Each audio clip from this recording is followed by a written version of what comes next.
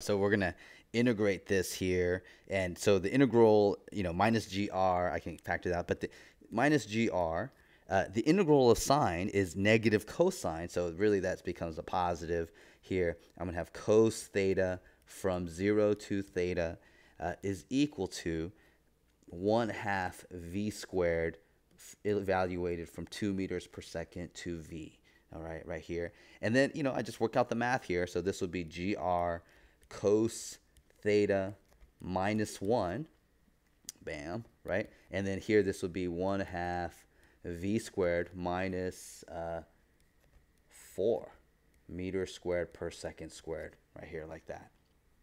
And so there's my integral, and I, I just I can substitute for g. This is 9.81 meters per second squared, and for r, which is 0.5 meters, right there. And I and then I just work out the algebra here, and I would get that v squared is equal to 9.81 meters per second squared times the cosine of theta uh, minus 5.81 meters per second squared.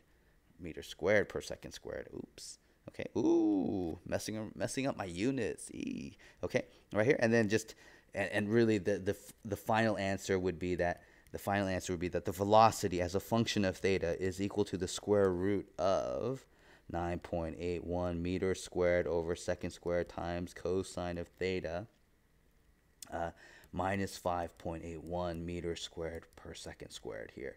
And you can see the units of this is going to come out to meters per second, so that's good, right? All right, so that's pretty interesting. That's exciting to know, okay? So here, now let's go back, and now we can go back and use this last part to get NB as a function of theta because we just solved for V squared, right?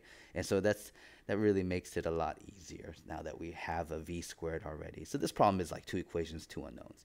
And and here when I I'm going to use the normal so the last part here, part 3 or part 4, I don't know what did I what did I have it before? Part 4. Yeah, part 4 use the n component. n component to solve for the normal force on the block as a function of theta. And so here we had, uh, uh I'm going to substitute for that mg or for the weight again. So we had the mg cos theta, mg cos theta plus nb is equal to mv squared over rho. Yeah. And rho in this case is the radius of curvature is still 0.5 meters. Okay. And here, in this case, I'm going to solve for NB. And I already have an answer for V squared. This is, you know, this right here. This is my V squared that I'm just going to, bam, plug it into there. So NB is really, I could just solve for NB right now. NB is equal to mg cos, ooh, whoa, whoa, whoa, whoa, whoa, whoa, whoa, whoa, whoa, is m v squared, m, 9, m over rho, 9.81 meters squared per second squared times cos theta minus 5.81 meters squared per second squared uh, minus mg cosine of theta right there. And let's see here. Did I do some maybe predetermined work already? I did.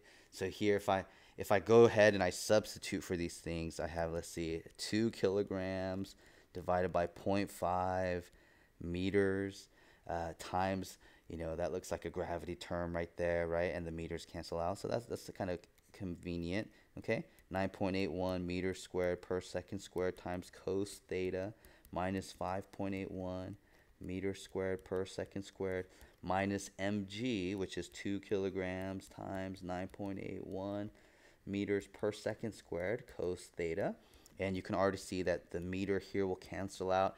All these terms when I multiply by 2 divided by 0.5 which is uh, which will come out to 4 kilograms it's just going to give me units of newtons. And so when I work all this out all this business out right here this n sub b uh, within the proper newtons units is 58.86 newtons times the cosine of theta minus 23.24 newtons.